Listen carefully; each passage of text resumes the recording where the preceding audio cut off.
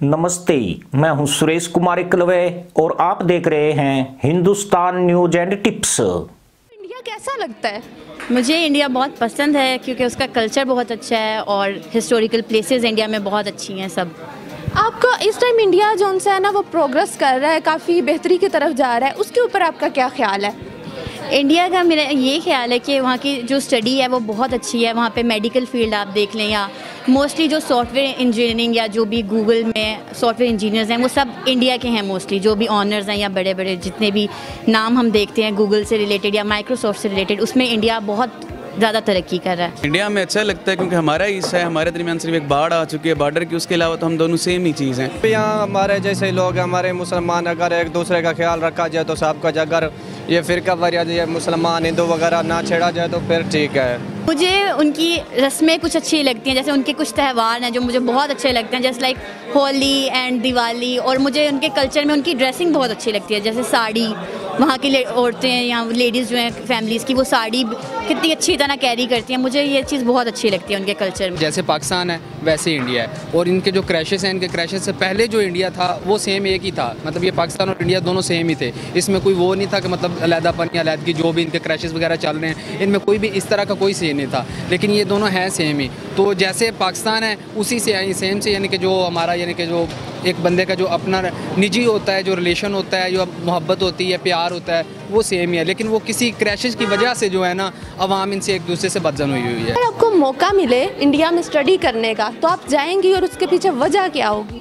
जी, अगर मुझे मौका मिलेगा तो मैं ज़रूर जाऊँगी, क्योंकि मुझे इंडिया की जो मेडिकल फ़ील्ड है, वो बहुत, मुझे बहुत पसंद है। वहाँ के डॉक्टर्स और वहाँ के जो मेडिकल स्टूडेंट्स हैं, उन्हें इतनी अच्छी एजुकेशन दी जाती है हर एक तरह से कि वो बहुत बेहतरीन डॉक्टर्स बनते हैं। तो अगर मुझे मौका मिला तो मैं ज़रूर इंडिया जाऊँगी। तो चाहते हैं कि ये स्टूडेंट एक्सचेंज प्रोसीजर किया जाए गवर्नमेंट की जानब से, दोनों गवर्नमेंट की जानब से, ताकि उनके बच्चे हमारे पास हैं, हमें उनसे सीखने का मौका मिले और हमारे बच्चे उस कंट्री में जाएँ, ताकि हमें उनसे सीखने का मौका मिले। क्योंकि एक तो हम दोनों नज़दीकी कंट्री हैं स्टूडेंट का अखराज कम होंगे और दूसरा लर्निंग प्रोसीजर इजी हो जाएगा स्टूडेंट्स के लिए। उनके पास बड़ी यूनिवर्सिटीज़ हैं और हमारे पास ब्रेन्स भी हैं, लेकिन उसका कोई इस्तेमाल सही तरीके से नहीं किया जा रहा। मौका तो अब इस बुनियाद पर मिल सकता है ना कि पहले इन दोनों के जो क्रैशेस चल रहे हैं, वो ख़त्म होंगे, तभी मतलब बंदे के पास चॉइस होगी। और इससे पहले अगर मतलब कोई चांस आपको मिलता भी है, जो भी अपॉर्चुनिटी देते हैं स्टडी बेस पे या जैसे भी देते हैं तो कोई भी जो पाकिस्तानी है, वो ये नहीं चाहेगा कि मैं इंडिया जाकर स्टडी करूँ। हाँ ये है कि अगर इनके क्रैशेस वगैरह ख़त्म हो जाते हैं तो फिर तो हर कोई बंदा जैसे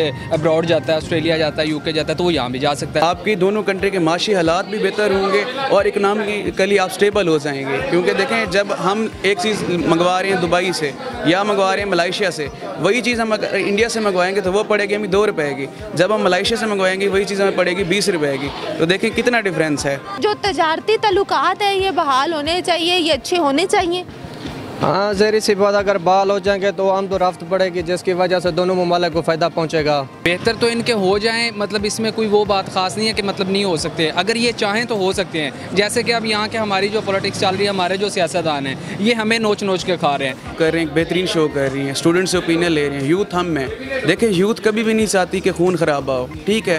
हमारे ऊपर जो लोग मुसलत हो चुके हैं वो अपने ज़ाती मफादात के लिए इस्तेमाल करते हैं ठीक है? ब्रेन वाशिंग की जाती है।